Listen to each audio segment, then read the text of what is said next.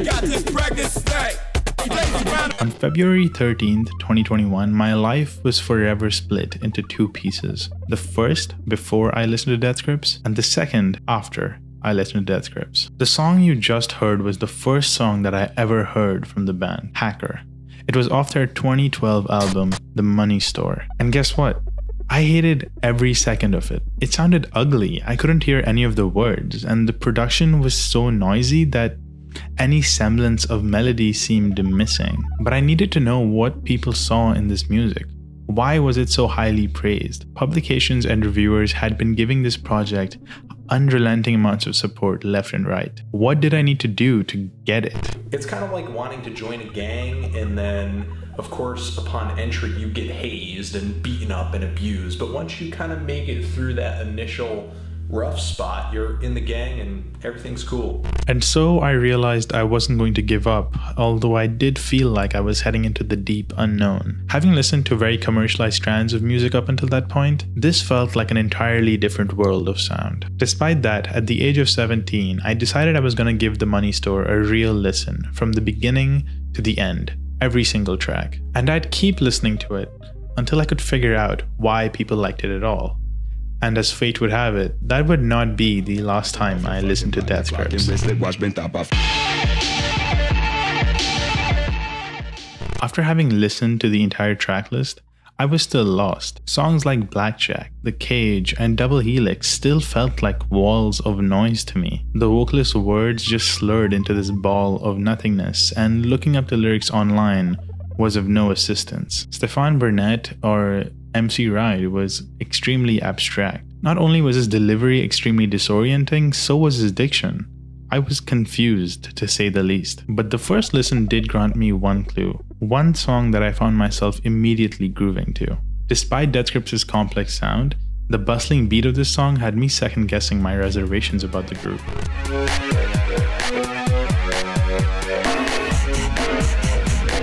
I've Seen Footage was the first Death Grips song that I ever loved. It sounded like the most demented rave one could have in the darkest pit imaginable, but for some reason, it was still catchy as hell. The chorus was echoing in my head all day long. This was crucial for my journey into the Death Grips discography. It helped me hear what everybody else was hearing for once. It was the beginning of my realization that music was so much bigger than I had ever imagined. And with that realization, I was ready to tackle the other songs. So I did some research.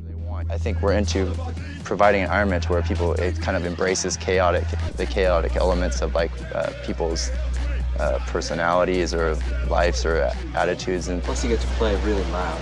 Yeah, that's great.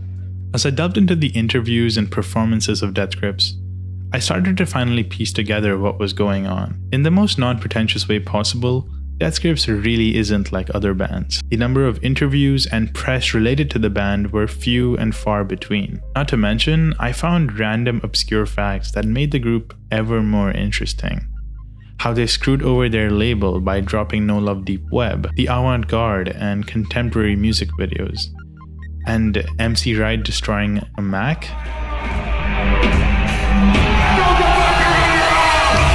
It was all deceptively weird, but it kept me engaged. And soon what I realized was that Death Grips was a performance. It wasn't just the music that was the art, it was the existence of the band itself. The entire thing was a performance piece of sorts. They reject not only music, but the entire idea of the music industry. Instead, they embrace individuality. In a society where consistency, productivity, and motivation are seen as necessary to make it, Death Grips throw all of that to the side. They abandon tradition in every sense of the word. They make loud, blaring, explicit music without a studio or fancy equipment.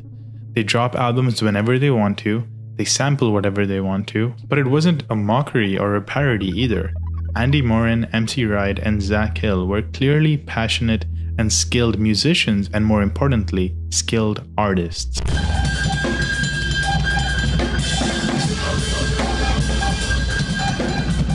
This one clip of Zach Hill rehearsing had me sold on the legitimacy of this group. What he was doing on the drums seemed literally on the verge of inhuman. And as I watched these videos of him absolutely obliterating his kit, I started to see the appeal. Suddenly, the energy behind the performances seemed so apparent to me. And as the intensity became familiar, the artistry began to reveal itself to me. So I kept digging. Half inch, 8 track, reel to reel. RAM set 12 channel, audio console, PC, Ableton Live, quad core. Andy Morin seems to be the quietest member of the group. Not to say that he's uninterested though. What I like about Andy is that he clearly loves the music. He seems extremely amped up for someone pressing a few buttons on stage. Jokes aside, his ambiguity only adds to the mystery of the group. But perhaps the only thing more unsettling than not having any information about someone is having information that you can't understand. And that brings me to the most cryptic member of Death Grips. I'm not that fascinated by uh, human achievements. I look more inside just to myself and what goes on in there. Internal, internal struggle, internal shit like that. Look inside more than outside. I'm not into really surface reality that much. I spent a long time trying to understand Stefan's motives, but I think the truth is that they're simple. This isn't some pretentious multi layered front that he's putting on. What you see on stage, what you hear in the music, is Stefan's soul. He puts his entire being and physicality into performance, leaving behind any semblance of logic. I don't think Stefan is somebody who needs to be deconstructed, he needs to be felt. And I was ready to do exactly that.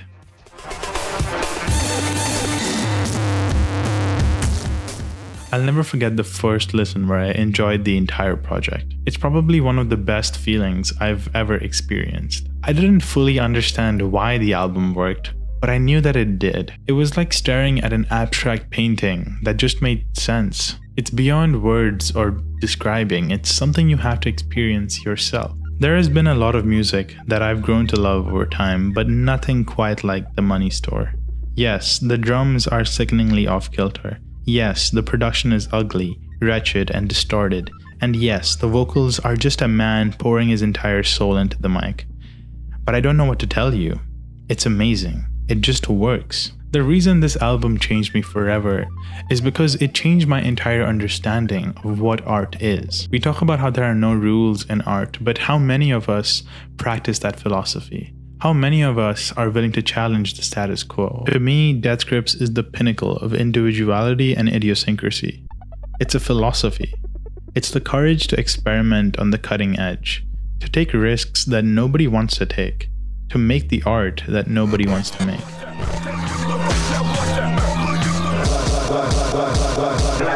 Two years on from listening to the album for the first time, and I still love it. Money Store will always hold a special place in my heart and be one of my favorite albums. And no, it's not about it being perfect.